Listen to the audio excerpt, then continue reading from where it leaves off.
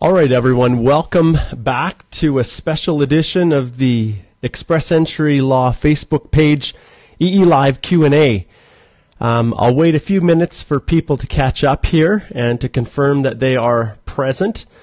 Um, I'm getting up far too early to be in here to do this this morning, but uh, uh, bear with me.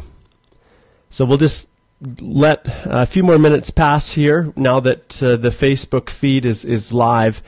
And uh, if I could get some feedback from those of you who are uh, on the call right now, um, just let me know how the audio is.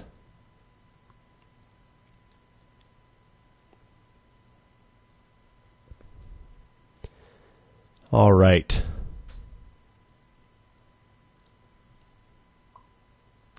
Okay, perfect. Thanks, Natish. All right, so here's what's happened. Um, I'm going to switch my screen over to um, to share my screen so that you can see. So as you can see from here, we have this lovely post that was uh, kindly posted by Syed Hassan Hussein Zaidi. And the question is, really? and so what he's done is he's provided a link to um, the fine folks over at Canada Visa who are pumping out the CIC news uh, bulletins, at least their version of what's happening within immigration. Um, uh, I wish I was large enough to have a separate team of people just designed to push out notifications as soon as they are released by the government, but I don't, so I will respond to this. So um, Syed basically said, Really, is this possible? Scores as low as 199. And on the surface, this kind of a, a, notification sounds unbelievable, given the fact we've never crossed over the threshold of 400. But um, I'm just going to blow this up so that it's full screen and you can see here. So basically, what this is indicating is that we had a draw on May the 26th. And then if you follow down, I'll see if I can enlarge this, make it a little bit bigger and easier for everyone to see. So after we had the um, th- this was posted, there were just a bunch of other comments, and I'm going to go back here, make sure I'm still on it. There were a bunch of other comments with people that were saying this is fraud, this is a joke, there's no way it's possible, and um, you know some people were trying to explain that this draw just relates to certain categories, but as you as you follow through here. Um, there, there's a number of comments, and some of them actually required me to, to kind of you know, indicate. So Ansi said, "Is it true?" Um, and then right here, uh, Usman says, "Nah, I don't think so. That means half the world is going to Canada." So basically, I said, I guess I better explain this to everyone because there's a lot of misconceptions that are out there. So let's go straight to the Immigration Canada website here. And this is the site. So if you're wondering, you know, what the draws were, what the breakdown is, how many people were drawn based on their scores. It's all right here. And uh, I'm going to put this in the comment section, a link to it, so that you can all go there yourself. There's no magic or no secret about this. But this express entry rounds of invitations, this is where the ministerial instructions are that the immigration minister posts whenever they do a new round of invitations. And so this one occurred on May 26th. And if you click on this link, you can see the full text. But they've done a good job here at trying to explain what is going on. So if you look here, you'll see right at the top, Provincial Nominee Program. So they have the regulatory authority to issue nominations for only specific programs. This one here is just for the Provincial Nominee Program, and in, in essence, the minister um, has actually released two separate ministerial instructions to cover both the Federal Skilled Trade Program and the Provincial Nominee Program. So what's missing from this? Well, the categories that have traditionally driven express entry, and that's the Federal Skilled Worker Program and the Canadian Experience Class. So if you have met the eligibility requirements for both of those, this round of invitations doesn't apply to you. So if you had a score of 775 points for the purposes of a provincial nominee program, um, there were only 143 people that were issued nominations based on this. So what does this mean? Well, 775 points basically means that they're getting the 600 points for the provincial nomination because that's for uh, for support from a province. You get 600 comprehensive ranking system points. So the cutoff for these individuals, and for sure there was more that had more points than 775, but essentially what it means is the, a person that had human capital factors totaling 175 were eligible to receive an invitation to apply. And so that's what this is saying. So likely there were um, some individuals, whether it was employment based or whatever, but that were given nominations. now, if you go down here, this is the one that I think is the most important. If you remember from one of my previous la- previous Facebook live uh, EE and A's, I talked a little bit about the breakdown over the over the last number of months um, which programs were were driving the ship per se with express entry. And in the case of uh, the federal skilled trade program, it was less than a percent. So it was so low, the percentage of candidates who were eligible as, as skilled trades all over the world that could actually qualify. And there's a number of reasons for it. And, and in future uh, Q&As, maybe I'll take time to break down the federal skilled trade program so people understand. But the reality is, they rarely rank very high when it comes to human capital because uh, trade education abroad is not really even considered. And often trade level individuals don't have a really high level of, um, of, of, English and, and other factors. But you can see 199 points is what they needed to qualify. And this is, this is straight, um, you know, human capital factors. And so there were 400 invitations issued. So really this draw was quite small in comparison to the 3,000 that we typically get. This one was 543 invitations sent out. But it's important to understand now that the government does consider the federal skilled trade program a relevant program. And I would not doubt in the future that more people, now they realize that there's actually a chance of, of being uh, issued an ITA if they're a trade level worker. This threshold right here, 199 points, and this is still pretty small. I'll try and enlarge it for you. This 199 points here that we have, I suspect it's it's going to go up for sure. But this is important. It's important to note. So let's take a look at this. So as of May 19th, 2017, you can see the breakdown. You can see where most of the nominations are being issued. So, and this is the number of, right here you can see, um, this is the, the people that are actually in the pool right now as of May 19th, 2017. And so if you go down here, you can see that the bulk of people are actually sitting right here, 351 to 400.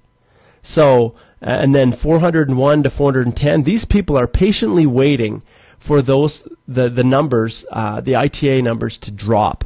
And you can see there's not as many here and in these ones from 411 up to really 450 because that's where all the draws have been happening, right in this area from 51 right down to um, 51 people in the pool right now, but from 400, 450 down to 411. So we'll see what happens, but that's why there's not many candidates in the pool because these are probably all fresh candidates or people that have had to decline the invitation because they weren't ready to accept it. But there is a big volume of people that are getting ready if that point threshold drops below 400. So that was the purpose of this uh, Express Entry live Q&A right now. Um, I'm going to flip back here if I can to uh, to the video section. And I just wanted to share a few other things with you. Um, some people have been noticing that I've been posting a lot about this right here and in each Q&A you can consider it being sponsored by the Canadian Immigration Institute which is a, a um, which is a resource that I created for people who are often outside of Canada and essentially can't afford uh, Canadian dollar legal fees and so I created this course to assist you in figuring out exactly what to do so I see here Jatinder says what is the requirements for express entry sir well right here I walk you through every aspect of Express Entry from the beginning all the way through to the end and uh, answer questions, explain how you qualify, explain how you can increase the likelihood of getting drawn. All of these things are built in here. And this whole course and, and the whole purpose behind me setting up this Express Entry Law Facebook page um, is to provide an opportunity for me to share information, free information with people, and to provide a safe, secure place where people can trust the information that's being uh, shared, and to help one another as you navigate the system. So I'm just going to flip back here for a second. So when you are um, um, when you're when you're looking for you know what is this guide Mark is talking about, this is it here and you can access it through a couple different ways. CanadianImmigrationInstitute.com is one, um, or or I'll provide a link into the comment section where you can uh, where you can subscribe, and it's a simple monthly subscription for thirty nine dollars a month. And so that uh, this Q and A and all the other ones are are basically being sponsored by this. And then, as you can see, as we go throughout the week, periodically I jump on wherever I can, try to moderate. But with let's see, how many people do we have now? Let's scroll up to the top here. I'm pretty sure we have over 22,000 people that are now a part of this group. And I'm going to shrink this down. Yes, 22,304 people are now a part of our Express Entry Law Facebook group. So, um, if you would like to share a question with me uh, to be used on future Q and A's, then what you're going to do is um, I'm just going to jump back once again here. Um, you're going to type this in the subject line, and you're going to send me an email uh, to, and I'll type my email address in again, and hopefully I can get this right.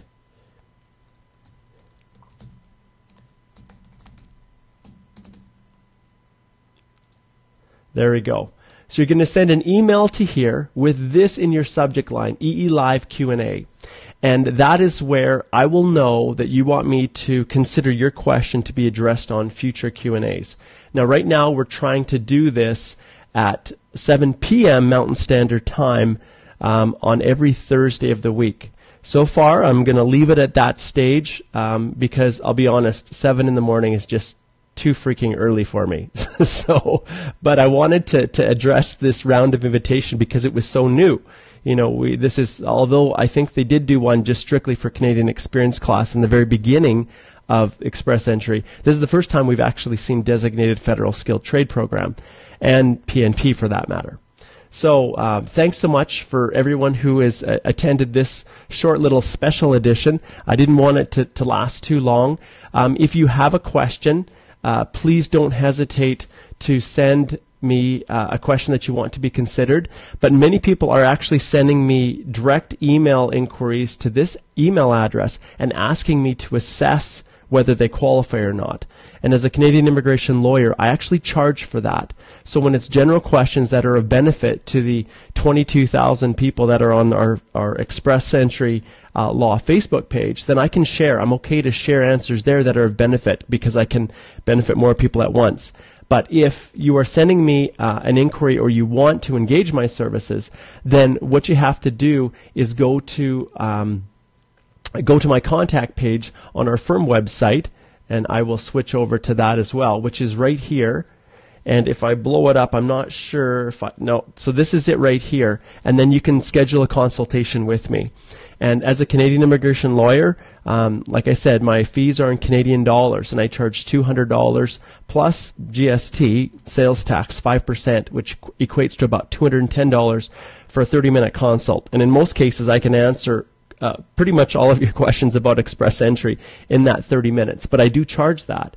And so um, you can go to um, this link right here, and if I go back, I'll post it just so that you can see it a little bit easier um, once again within uh, within this video. This is where if you want to actually send me, um, well, that's not too easy to read, is it?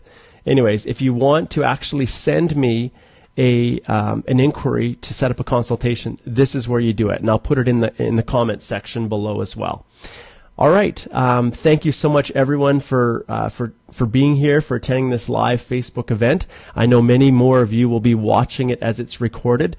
Um, I'll also indicate that I try to pin it at the top of our Facebook uh, Express Entry Law page so that it's easier to find. But if you're looking on your handheld, um, yeah, if you're watching it uh, or, or, on this on your phone, your iPhone or whatever your Android is, um, you'll actually need to click on pinned post so that you can see. And every Express Entry Q and A that I do, um, I post the new one up and pin it to the top. Otherwise, you'll need to just scroll down. But uh, I hope you've appreciated this, and um, the next live Facebook um, Q and A will be on Express Entry will be Thursday, this Thursday at 7 p.m. So I look forward to seeing you all there.